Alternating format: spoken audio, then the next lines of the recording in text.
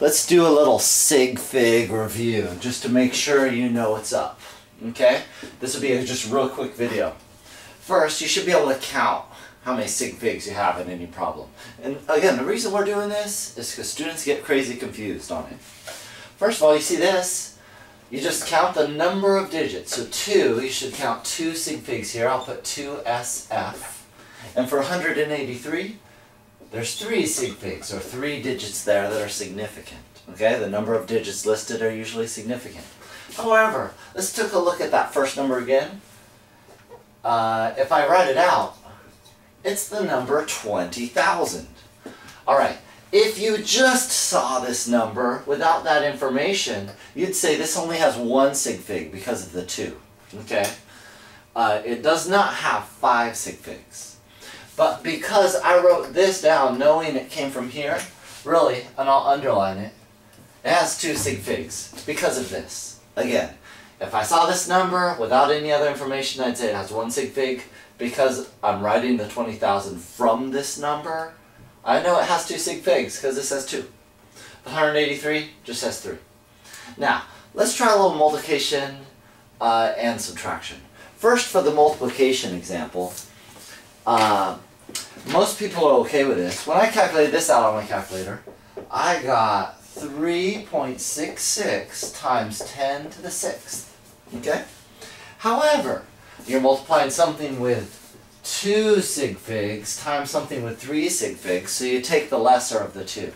In that case, the answer should have 2 sig figs. So this is really 3.7 times 10 to the 6th is your final answer.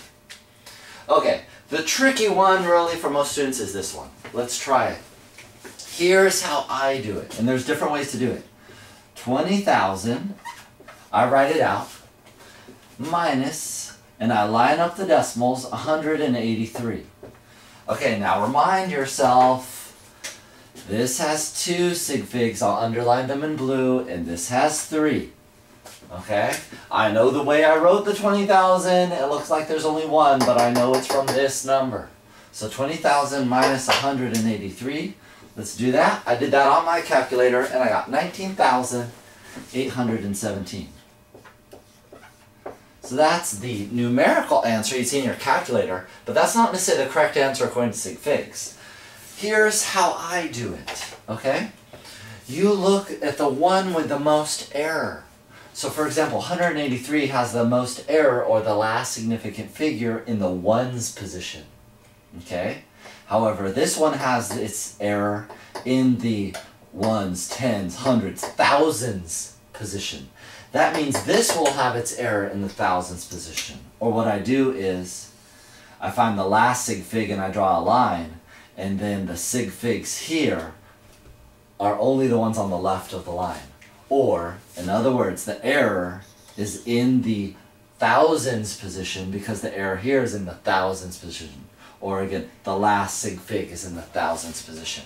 That results in where the error is, so I must round to this number. So what do you get? It's really weird, I know, but it's just 20,000 again. Okay? How many sig figs does it have? Two. The two, the thousands and the tens of thousands position.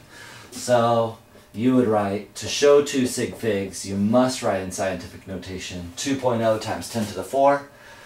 Uh, I know it's funny because you get the same answer that you started with, but I need two sig figs when I do the subtraction. Alright, that's it for now.